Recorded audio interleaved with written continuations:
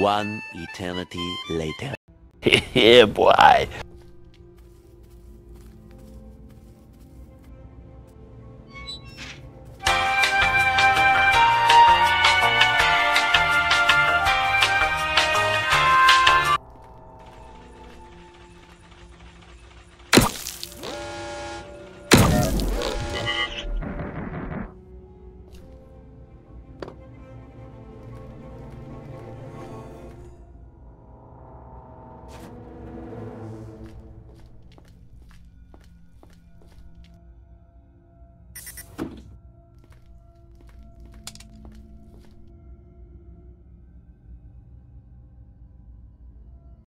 Two thousand years later.